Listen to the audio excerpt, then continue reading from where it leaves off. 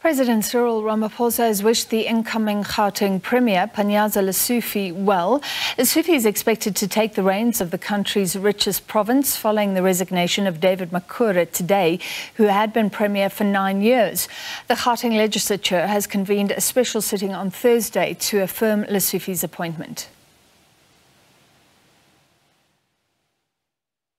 It is a smooth transition uh, the Premier had gone public himself and said that he would be leaving. So there's no drama.